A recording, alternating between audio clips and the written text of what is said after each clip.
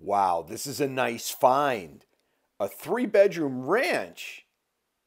Move in condition. South Pembroke on the Duxbury line, just a block away from Lower Chandler Pond. Oh, you're going to love it. Come on in. Let's check it out.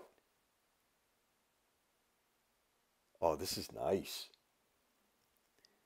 The whole house, it's not that big, it's not that small, 840 square feet. Living room, hey, 12 by 15, that's pretty good. Dining room, 8 by almost 8 by 9. That's all right.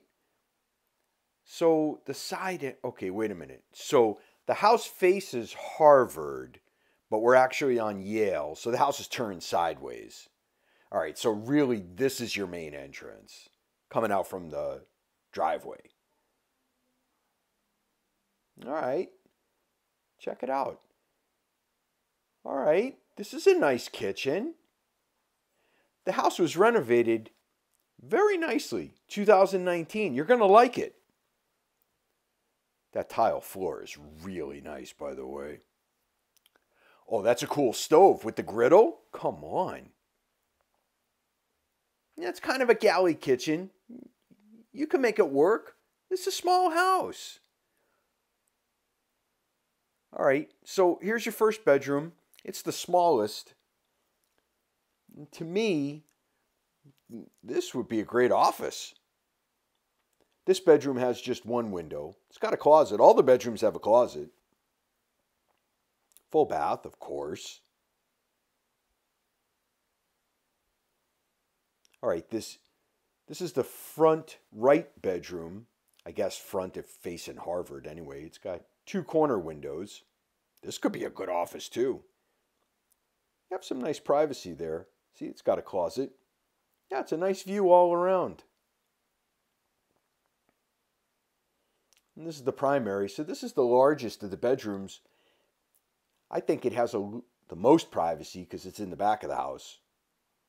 Oh, it's a nice shed too. 8 by 10. Huh, that's good storage. Yeah, feels private.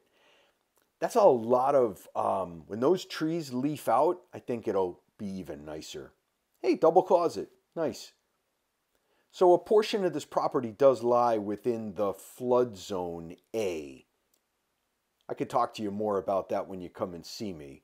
I did attach the flood determination report. The house is not in the flood zone. Not in the flood zone. But I took this video on the 30th. If you were around that week, my word, did we get a lot of water.